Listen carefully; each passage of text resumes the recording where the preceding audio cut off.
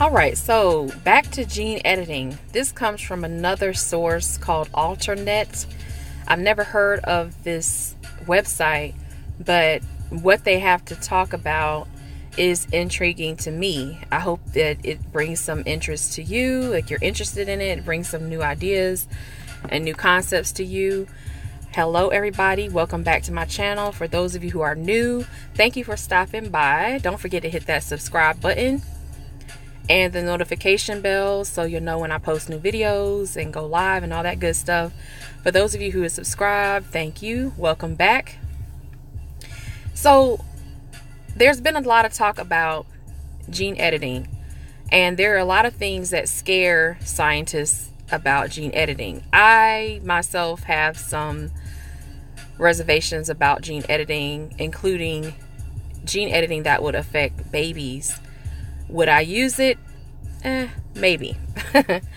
but there are a lot of scarier things other than gene editing out here. Okay, we got people running around with guns shooting up people in New Zealand.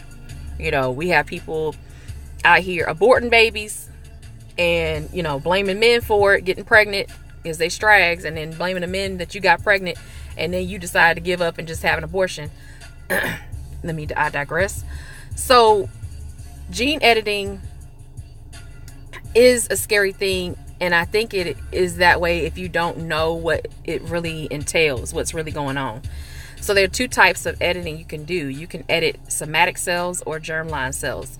Somatic cells are of the body, the soma, and the soma is your your um, organs and tissues. That you know, tissues are just groups of organs are just groups of tissues that have a specific function, and that's all they do you know, cells for your stomach, cells for your prostate, cells for the breast, cells for the brain, etc.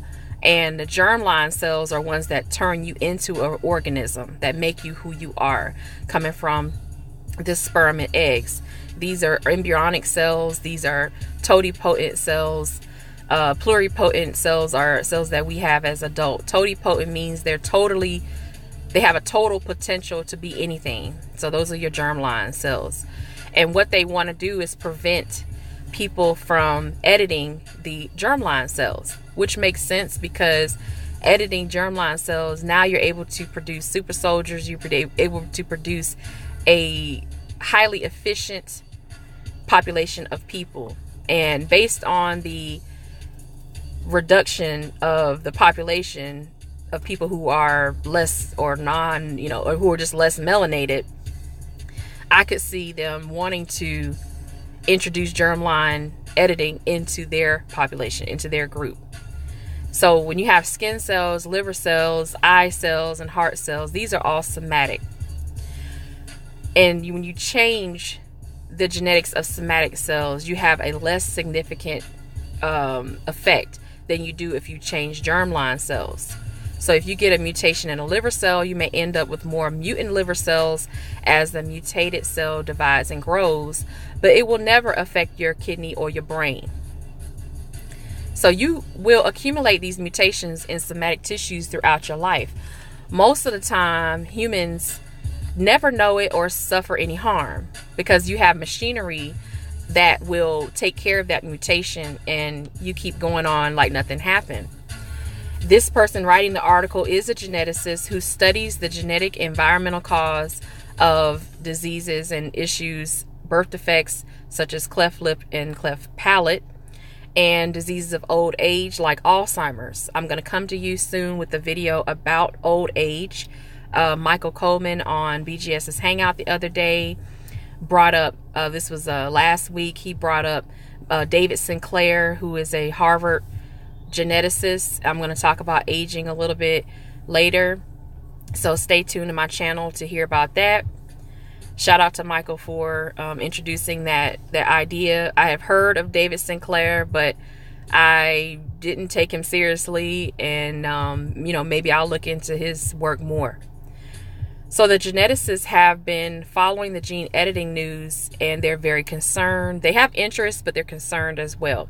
I think they're interested because they're already doing a lot of these studies and the concern is they can't be first a lot of times. So science is very competitive.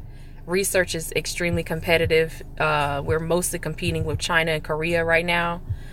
Uh, we're also starting to compete with a lot of African nations because there are African nations where China and Korea are, and they're merging and collaborating a lot more often now. So, when you fix these faulty genes, you want to make the organism better. But editing the germline, creating babies who have these genes is a different a different story because you have a lot of ethical issues that occur. And what they call like gene doping is where you're fixing the cells who might otherwise die from a liver disease, for instance. But you can't fix all the genes. it, it's it, it, you can't fix all the genes in in one person. And when you fix all the genes in a baby who is otherwise healthy, you have a higher risk proposition. So this is why the recent announcement that a Chinese scientist had done that by creating um, babies who were gene edited by CRISPR editing the CCR5 gene, you know, this Delta 32 gene, that created a, a, such an uproar with that. So they're saying that the procedure, well, they think the procedure was safe. Um, and even if you know it's safe, gene editing of the germline would still catapult us straight into the designer baby controversies. BGS and Don Calypso have a video. I try to remember to leave a link to that where they discussed designer babies. This was months ago. Uh, very good discussion they had. I suggest you check it out. So, the main thing is fear and fear, in my opinion, comes from lack of knowledge and research. But even though people are afraid, it's really their imagination that, that and the incorporation of Hollywood movies that make people think, oh, they could they could do this and they could do that. Well, yeah, they could. Are they? You know, the question is not can we? The question is are we? It's not a matter of can we do the gene editing it's the question of are we doing the gene editing i will say yes and no there's some scientists who say yes because they are doing it and they know those who are and they'll say you know no because there are some people who refuse to step into that arena um, this does cross lines with regenerative medicine this also crosses lines with um, uh, what is it? Um, drug development, AI being used to develop drugs. I'll come to you with an article about that. Shout out to the Black Brain Trust and um, a lot of the work that they're doing with tech. I wasn't able to catch their stream last night. I'll try to remember to leave a link to that or put it somewhere in the cards or the end screen on this video. But you all let me know what you think about the future of gene editing and how you think that that could become, you know, where we're developing or creating X Men or creating some type of uh, super human uh, race or, or group. But I'll leave it at that. You all let me know what you think in the comment section. Like, comment, share, subscribe, share the articles. Check out some of the channels that I put uh, cards for or description uh, links for the description. Um, check out the end screens and go sub to some of these um, channels that I'm putting out. I don't put the video links and cards up there for nothing. I put it there for you to go sub to these individuals because they have a lot of good information to provide you.